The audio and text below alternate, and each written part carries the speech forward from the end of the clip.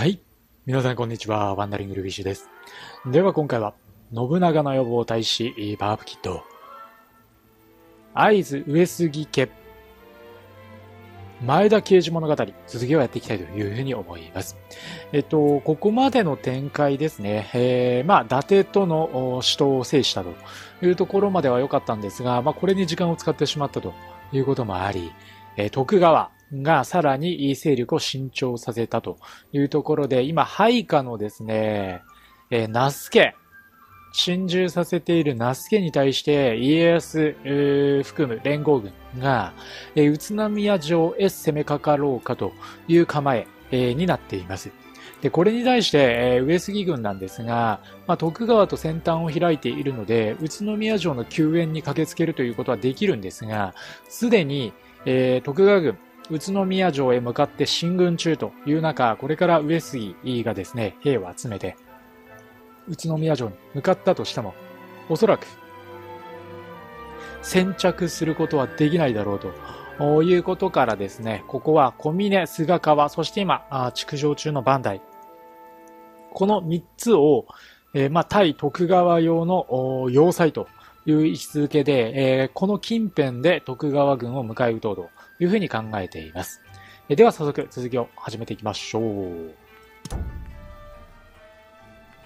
まあ、宇都宮城は残念ながら疾患するんじゃないかなというところですね。まあ、あの、那須からね、えー、援軍の借り受けの要請が来ていますが、まあ、援軍は出してあげましょう、一応ね。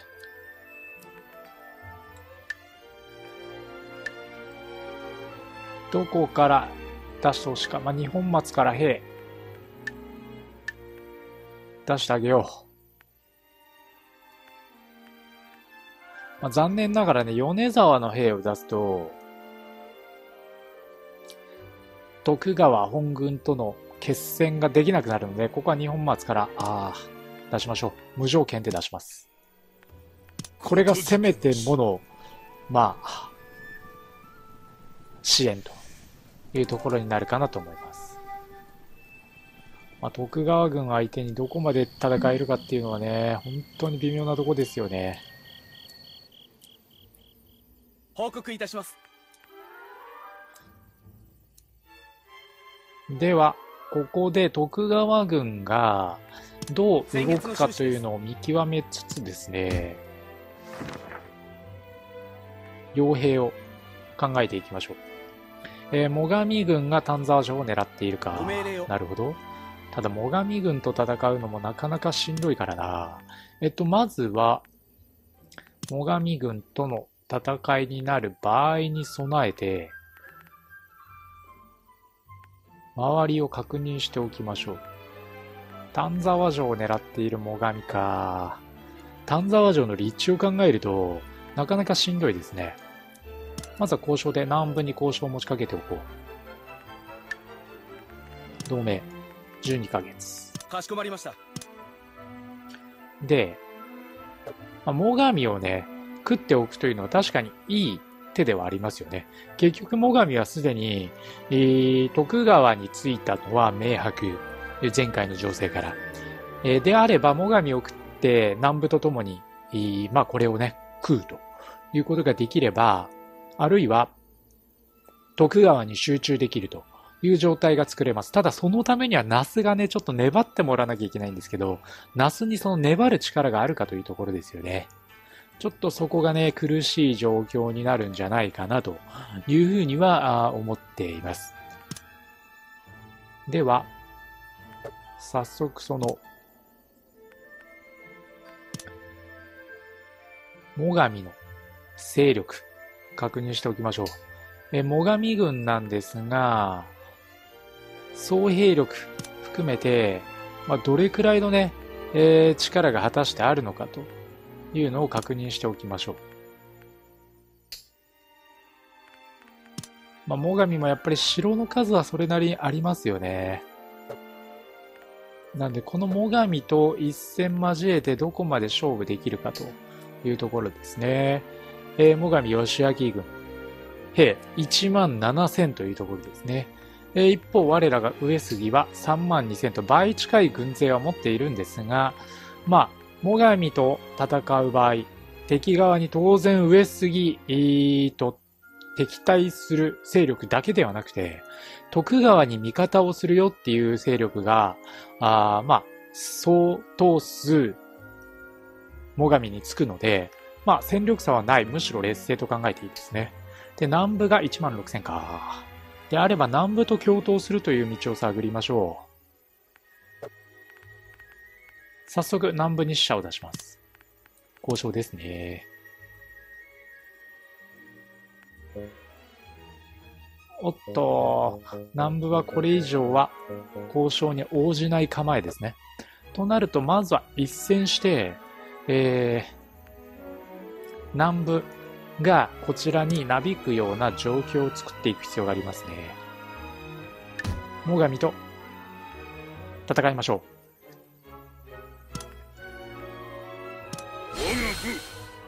わせてもらおう。まあ、徳川は当然敵につく。力を貸すぞ助立ちいたす。よし、南部がこちらについたのはでかいで。堀が生還。これは厳しいな。堀も味方についてくれれば盤石な構えということもあったかなと思うんですが、まあそこまではいきませんでしたね。では、最上の方に6ヶ月間で金継を送り込んで、かしこまりました。寝返りそうな武将を探させましょう。で、まあもちろんもう宣戦布告した以上は先制パンチというところを行っていきたいので、えー、早速ね、行軍させていきます。狙う城をどこにするか。敵よりも先着する必要があるんで、先着できる場所、それが絶対条件ですね。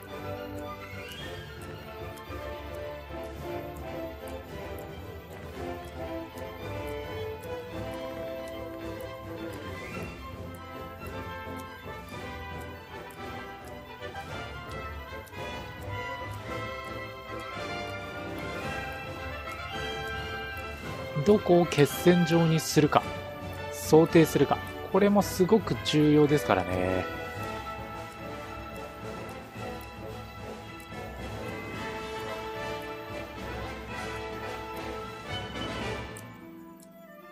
あとは、攻めた後に守りやすいところというのも重要なので、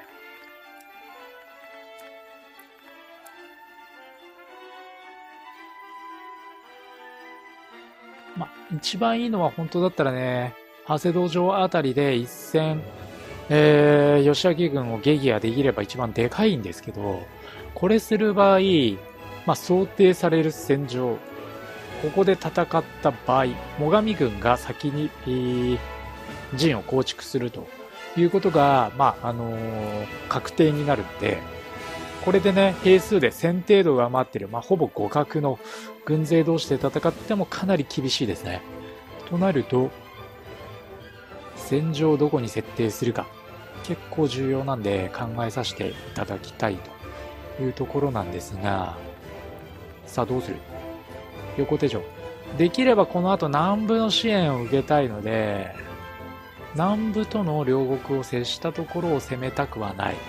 苦しくなった時に南部に助けてもらいたいので、できれば避けたいですよね。延べ沢城。まずここ狙ってみますか。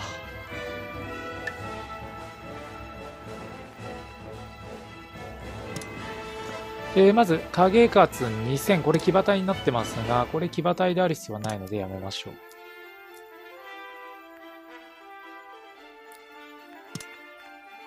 で、刑事は騎馬隊。本城も騎馬隊。ちょっと騎馬隊が多いね。金継ぐは鉄砲にしよう。本城は騎馬隊ではなく、足軽にして、刑事はこれ以上兵は出せないね。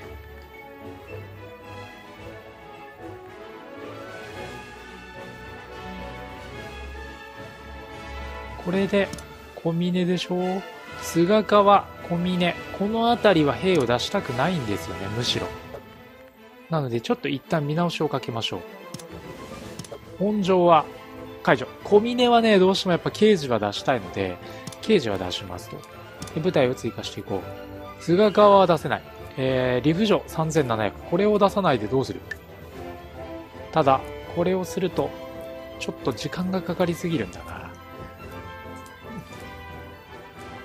そうすると、一旦これで進めよう。へ1万4000という数用意できますね。進むぞで、えっ、と、続けてというとこなんですけど、えっと、一気に城を2つ3つと取りにかかろう。敵よりも、モガイミよりも兵を多く用意できるというメリットを最大限活かしていきます。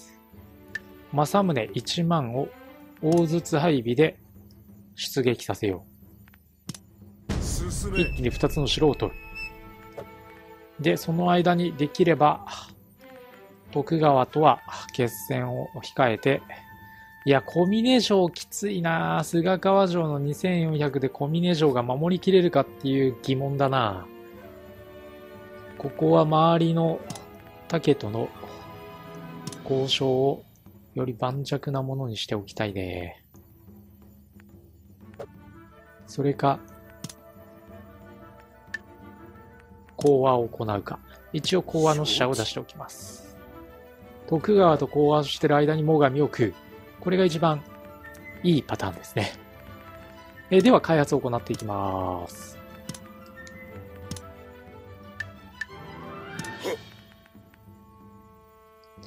まあ、なんとしても徳川に、えー、まあ、横に並び立つというところまでいかなくても、えー、まあ、対抗できるだけの力を、まあ、養っておかないと、本当に苦しいという状態になってくるので、なんとかね、えー、そこをうまくケアしたいなというふうに思ってます。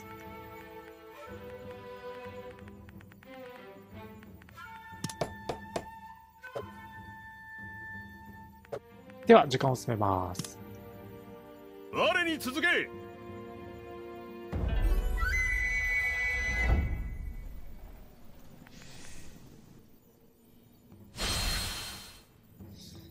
さて、長宗我部が秀頼に対して豊臣に対して宣戦布告か。まあ、ここは豊臣につくしかないよね。助立ちする。かたじけない。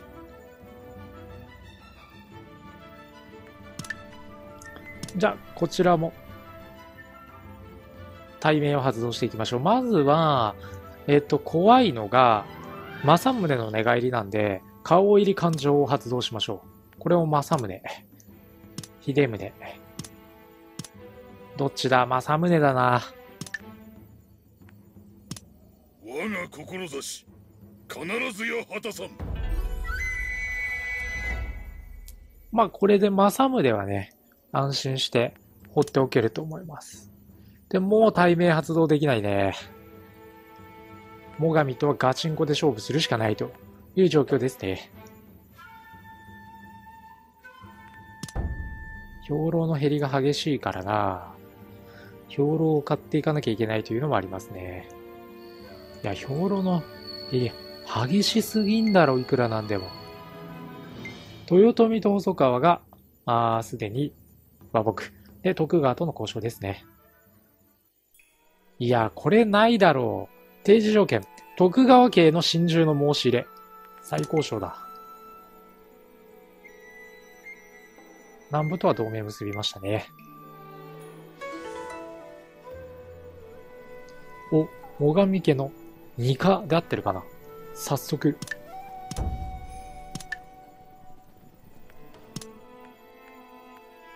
密約を、鶴岡城ね。家宝、城、確約。家宝も何も持ってないんだが、まあ、ここは城を確約してでも、味方につけたいね。まずは確実に、確実に持っていく。これで本題に入って上手確約。2がね。どこの城を確約するか。まあ、ここは丸森城あたりが無難かな。カオは何も持ってない。いや、持ってる。ただ、これ誰が持ってるのかって話だよな。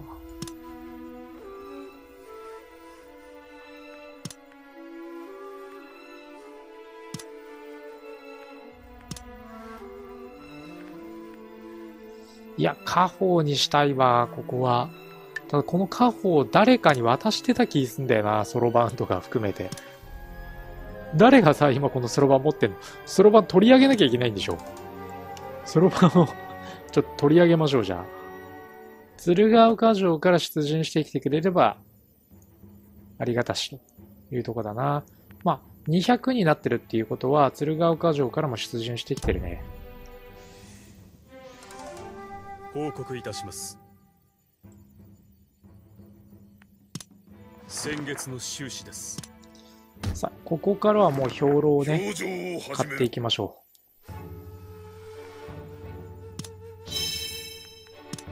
さすがの政宗だな。表情を終える。労役追加を入れておこう。やっぱりどうしてもお米がない米不足に悩まされていると。で、波状椎の配備を入れましょう。ゲチよ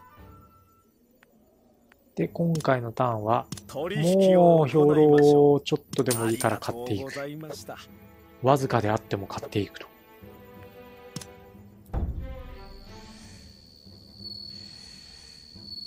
ちょっと待ってね。政宗の向かう先を変えよう。っと近場にする。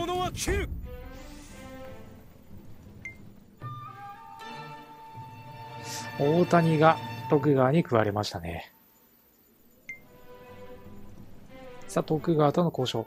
兵糧2600を譲渡。いやこれはでかい。これで徳川との戦いを6ヶ月間せずに最上に集中できるという状態を作りました。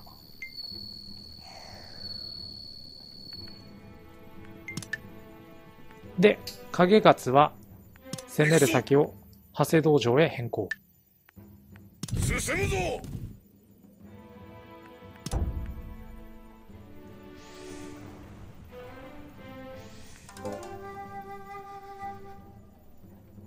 報告いたします。うまく最上勢を翻弄してこちらの好きな戦場を設定できるようにしつつありますね政宗は、そしたら、延べ沢城へ戻る。いやー、延べ沢城に戻ると、最上義忠軍12,300と決戦か。これはこれでしんどいな。行くぞ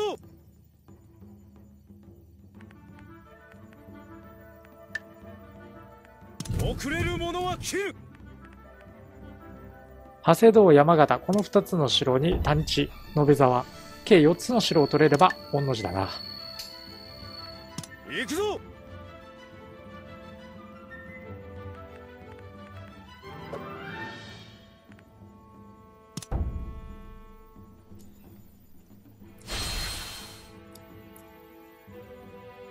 豊臣徳川。まあ、ここは豊臣につくけどさ、もう豊臣結構苦しい状態だな。世の汚れを払い、天下に性質を出たー三つ葉葵。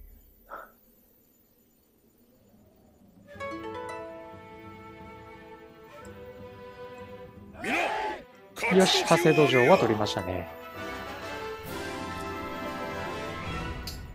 さあ、そしたらそのまま山形城の戦いで、義明の首を上げる。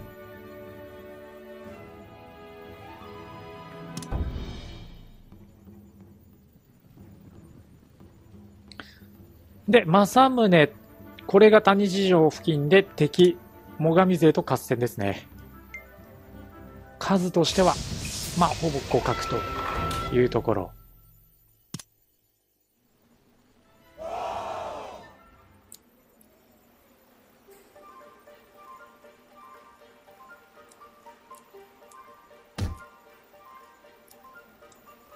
さて、では、うーん、最上勢の動きがわからないものの、部隊数が少ないというのを生かす、敵がね、部隊数が少ないというのを考えて、本陣切り込みで一気に蹴りをつけたいな。ただ1730か、敵本陣。これは結構厳しいよな。相当の竜。40使うのはもったいなさすぎる。さすがにきつい。ここは作戦なしにしておいて、一旦罠の設置を行う。泥沼は？前を泥沼にできるっていうことは、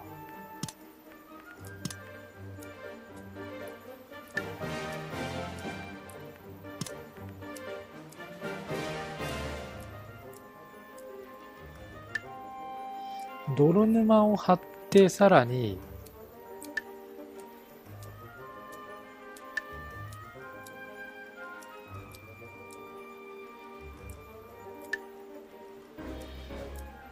柵をして蓋をしている間に少ない方のこの2部隊しかないこっちの数を一気に食い破るという戦い方がいいかな。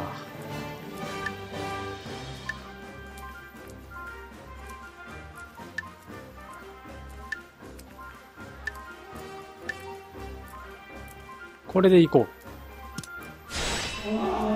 泥沼と柵で敵、正面の敵を食い止めてる間に、えー、右翼側に展開している敵軍を一気に食い破るという戦い方でいきます。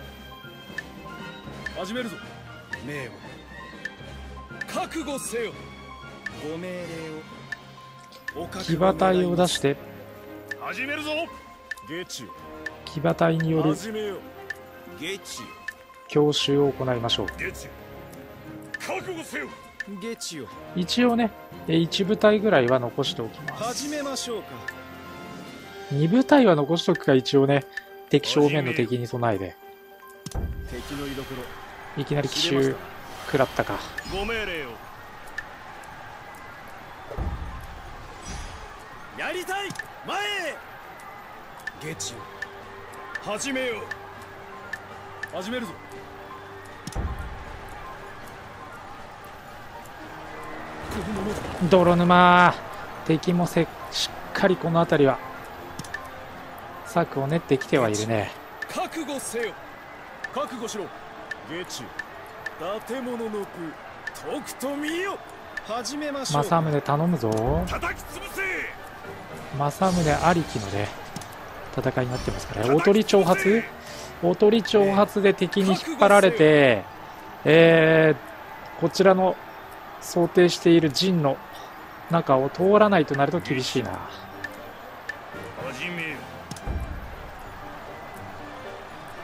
覚悟せよ。甘いわ。やりたい。さあ乱戦には持ち込みましたね。叩き潰せ。ゲチよゲチよ。始めましょうか。あとは泥沼で敵をいかにはめるかだな。こ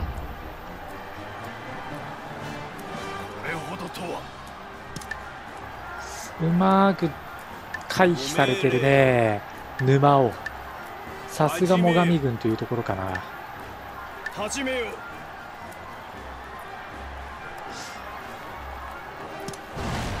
今力を合わせよ。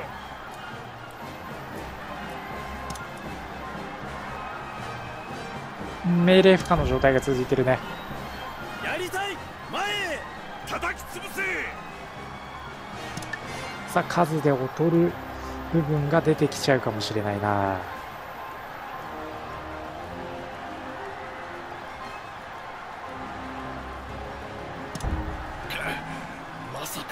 か破れると田村隊が敗退。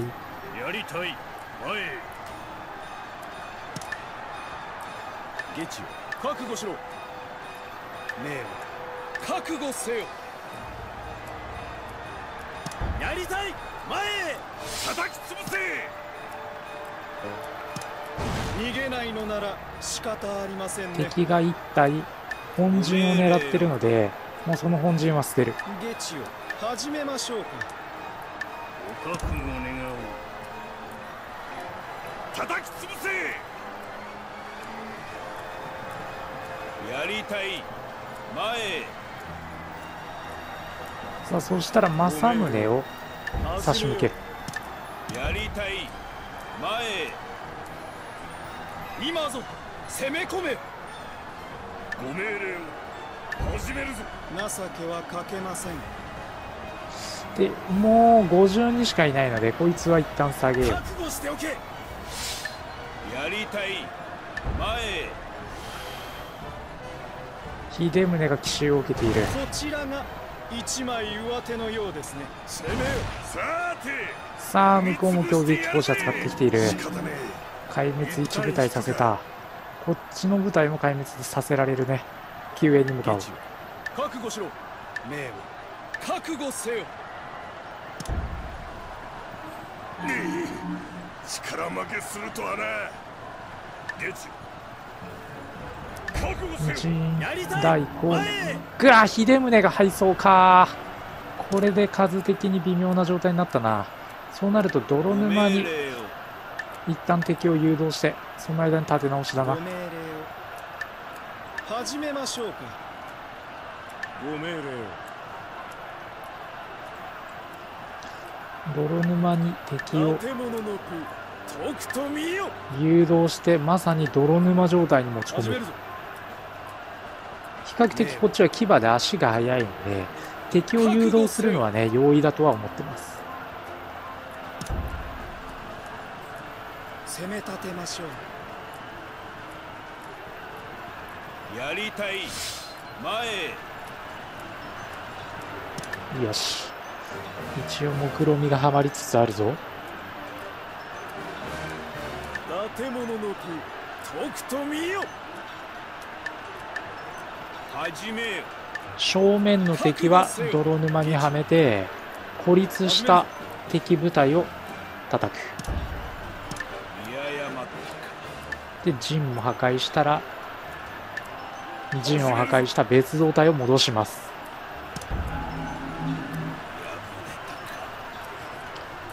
あとは沼にさえはまってくれれば。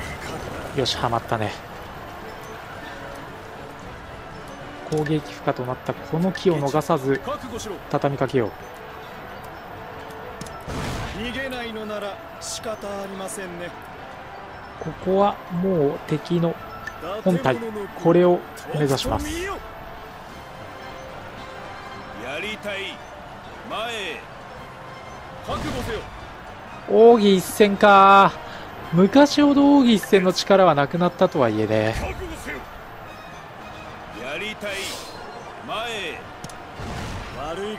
強襲国清にさせても意味がなかったね。確認するべきだった。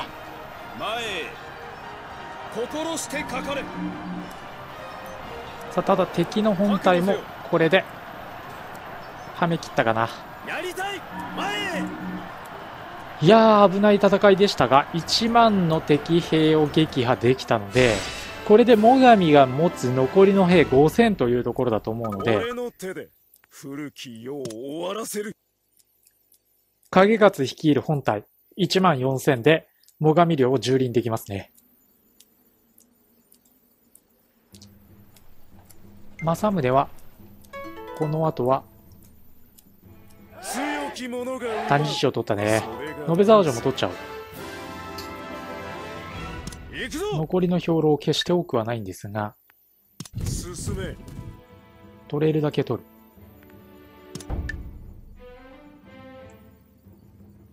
山形城の攻略戦ですね。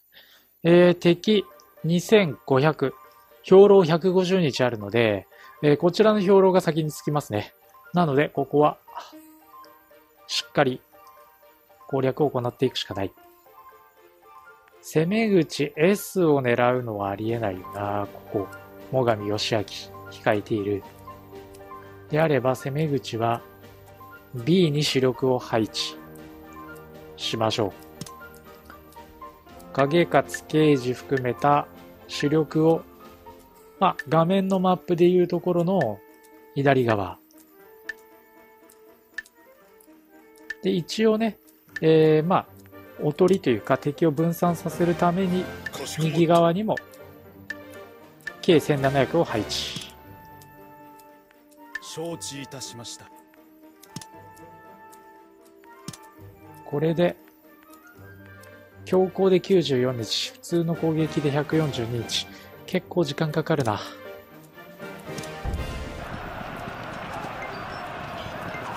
こんなに兵糧は持たないぞ撤退するしかないな。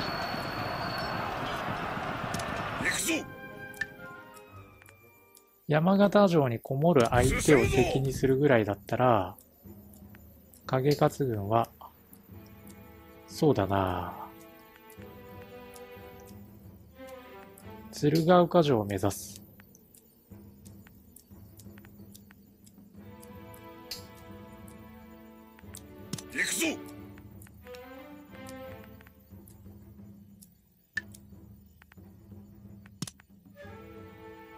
兵糧切れになるよねしょうがない影勝は一度戻しますか兵をここまで追い込んでおいてもったいないけどしょうがないね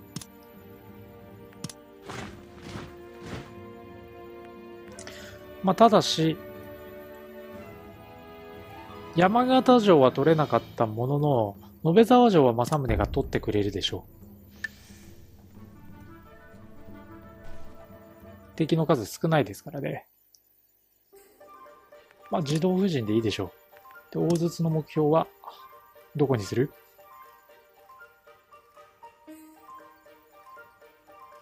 本丸を狙ってもしょうがないからな。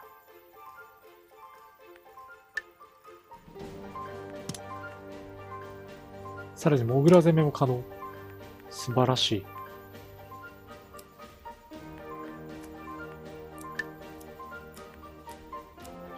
金銭5000か。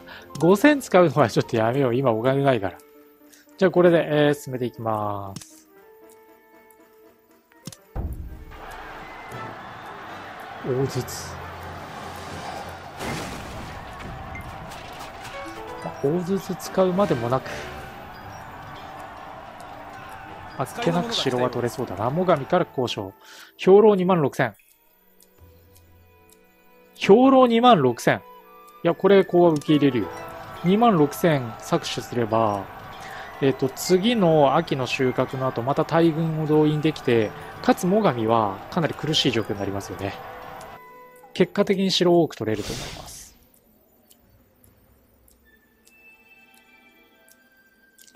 えー、毘沙門天の再臨で、えー、志特性、応戦準備解放、確認しましょう。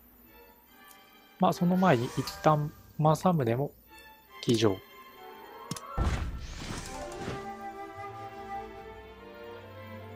徳川とは、見た目上の和睦を行って、その間に最上を食う。相馬との同盟があと1ヶ月ですね。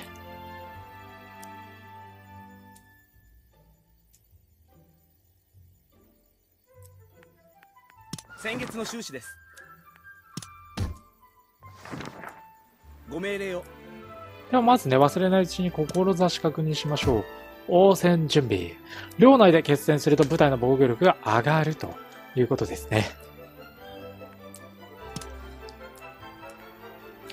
なので、えっ、と、やっぱり、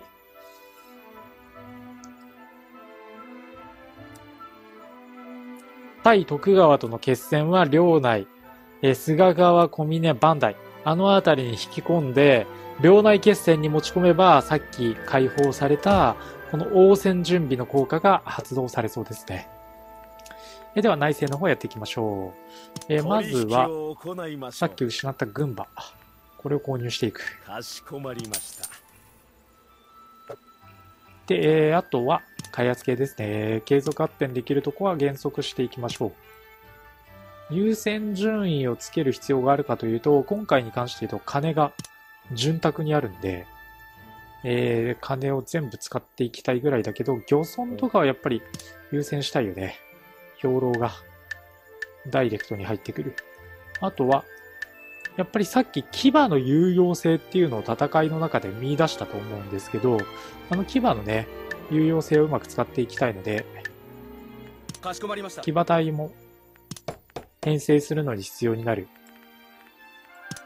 牧場も優先的にやっていきましょう。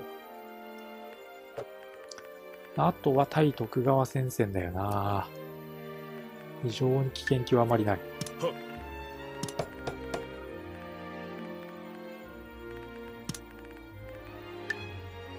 承知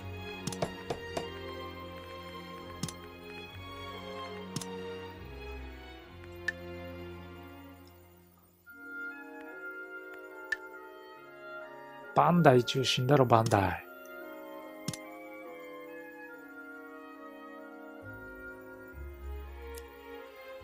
もうこの辺りはいつ敵と戦いになってもおかしくがない。まあ、いつ家康が攻め込んでくるかわからないっていうね、危険極まりない場所なので、この辺りを優先的にやっていきましょう。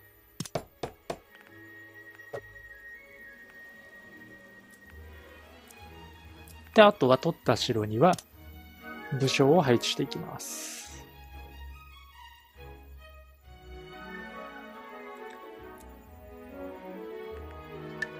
長谷堂に誰入れる？本城は出したくないしな道宮入れますか、道宮。福島城に入っている道宮を入れよう。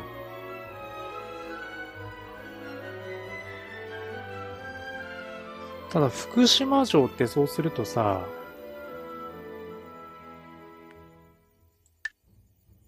今誰がいるのよ？福島城。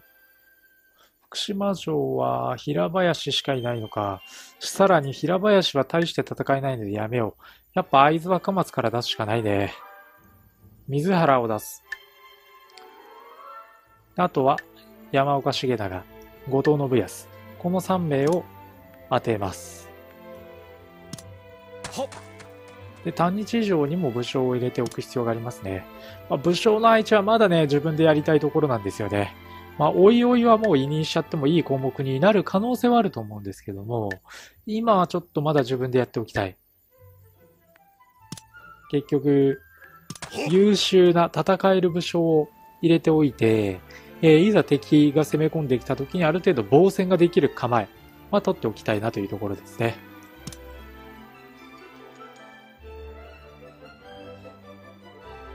親善が行えるような、いや、豊臣かなり苦しいね、こうやって見ると。細川から攻められ、さらに、長宗我部からも攻められというね。結構厳しい状態ですね。筒井も攻めていて、徳川にも攻められてと。まあ豊臣をちょっと頼るのは難しそうなので、やっぱり我らが上杉だけで、えしっかりとした地盤を作っていくということが大事になりそうですね。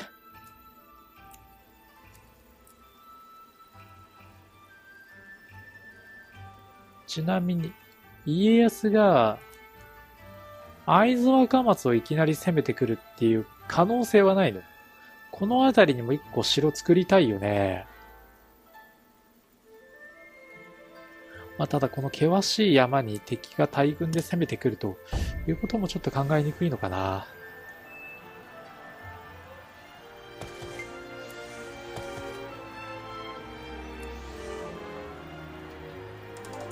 ただ今や徳川と城を接する場所は多くなる。もう那須家はね、滅ぼされますからね、これご覧のように。であれば、要塞地帯を増やす必要があるかなっていう感じがしますね。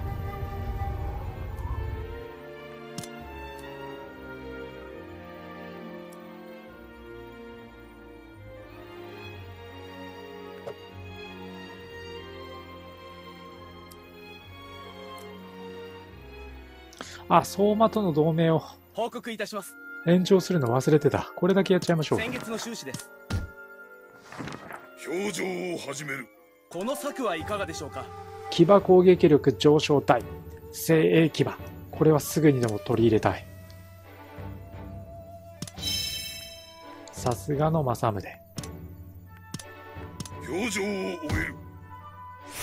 精鋭騎馬。ちょっと足りないか米80が足りないね今回は貯めましょうよって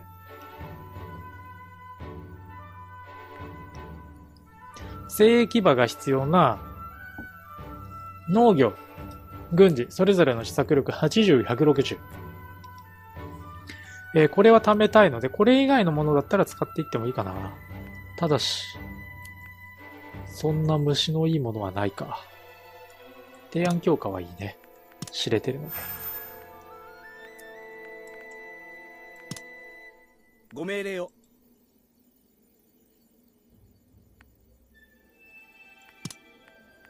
では、交渉。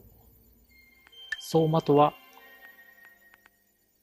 従属させる従属の勧告を行かしこう。まりましたで、それとは別に先ほどお話しした、えー、築城の話をしたいけど、金が足りないとなれば、万代城だな。万代城の強化を行う。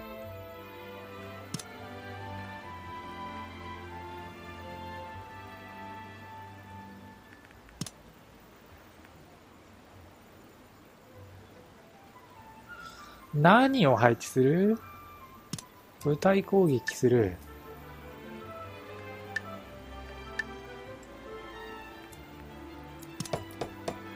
天守も二層天守に一旦格上げ。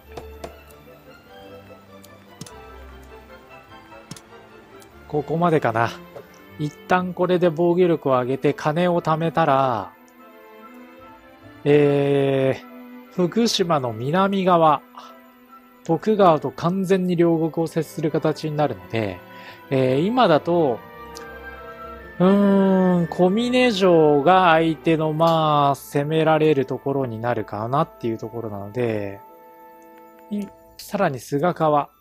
うーん、この三つ、小峰、菅川、いわき。この三つで敵を迎え撃とうというところだったんですが、さらに城を二つほど築く必要がありそうですね。えーお金を貯めて城を築きましょう。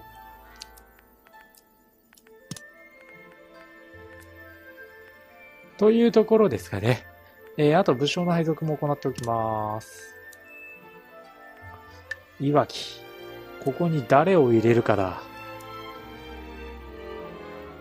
ある程度森林の高い武将を配置しておきたい。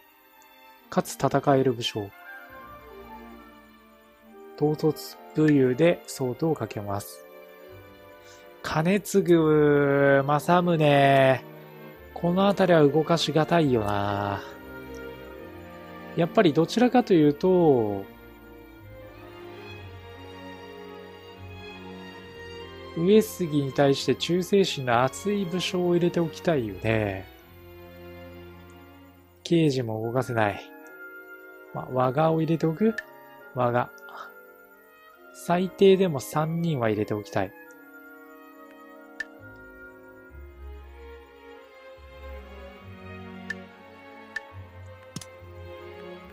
かしこまったまあ、見殺しにはできないですからね、いわきは。すいません。もうね、花粉が飛び交っていて、えちょっと聞き苦しい点もあるかと思うんですが。えーではあ、今回はここまでにさせていただいて、次回ですね、えーなんとか、最上との再戦、さらに徳川とは戦いをもうしばらくは避けたいという、うまあ、情勢の中、あプレイの方は継続していきたいというふうに思います。はい。というわけで、えー最後までご視聴ありがとうございました。ぜひ、チャンネルの登録、あとはですね、ツイッターの方で動画の収録状況と、あとは配信状況、まあ、その他もろもろ情報を発信しておりますので、えー興味のある方ぜひツイッターの方もフォローしていただければ、あ嬉しいなというふうに思います。